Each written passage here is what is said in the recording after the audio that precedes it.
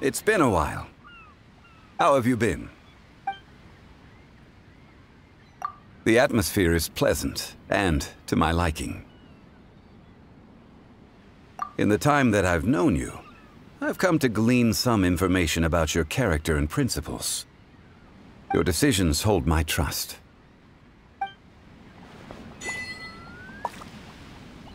It's been a while. How have you been? Good morning. Though your journey be fair, do not unduly tire yourself.